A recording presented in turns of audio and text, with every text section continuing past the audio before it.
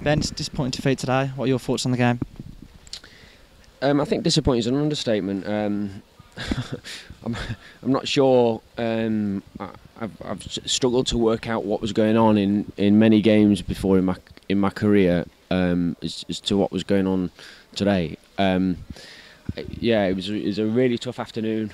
Um, we struggled from the get go. I think one to eleven.